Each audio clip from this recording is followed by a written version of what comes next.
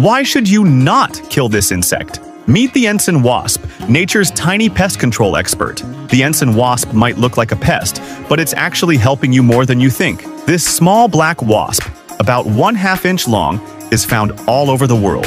And while its slim body and waving flag-like abdomen might seem intimidating, it's completely harmless to humans. Here's why you shouldn't kill it. The ensign wasp is nature's answer to cockroach control.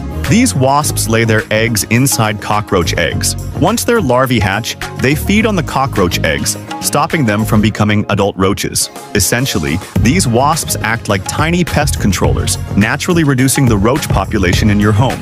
Unlike aggressive wasps, the ensign wasp won't sting unless provoked. So, instead of seeing it as a threat, think of it as your home's personal pest control assistant. Next time you spot one, remember, they're on your side, keeping cockroaches at bay. No need for chemicals or traps, just let nature take care of the problem.